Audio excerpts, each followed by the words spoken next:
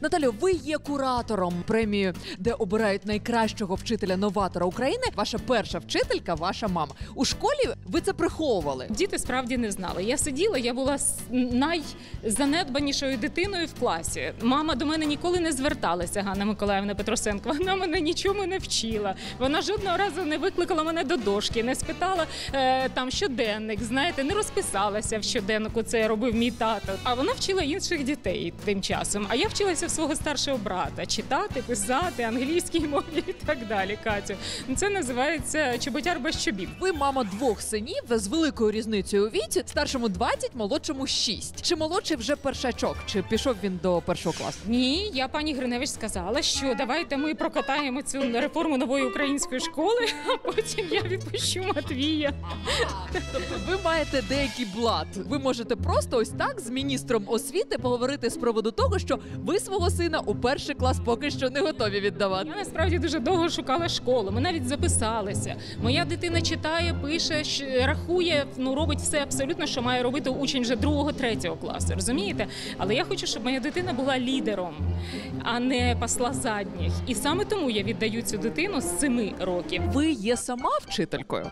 Ви вчителька англійської мови. Ви закінчили Житомирський педагогічний університет. Чи вмикається вдома ваша педагогічна освіта? Катю, все, що я могла відшліфувати, я відшліфувала на старшому Антонові. І мені надзвичайно шкода, що я це робила.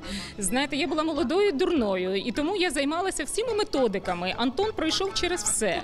От е, Антон вже в три роки міг читати. Антон йшов і розв'язував рівняння. Антон розв'язував задачі. Одним словом, це була талановита людина. Знаєте, та я ще з неї познущалася. Я завжди е, перепрошую його за це. Цей росте як трава при дорозі. От просто йому дозволено все, тому що там, де ви кажете, школа включається і педагог включається, мій чоловік це виключає. Чим займається старший син? Яку професію він обрав? Е, Ким він буде? Він вчиться на факультеті міжнародна економіка в університеті імені Гетьмана. І зараз він виграв семестр навчання Відні.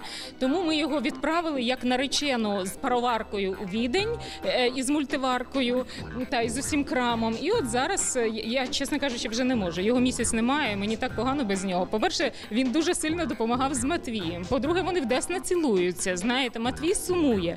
Е, Ми не можемо з чоловіком нікуди ввечері піти. Коротше кажучи, ну це просто колапс в родині. Знаєте, без Антона. Чи, чи переїде старший син на постійне навчання у Австрію? Якщо він виграє магістратуру і буде якась пропозиція цікава, знаєте, на безкоштовне навчання, то чому б ні?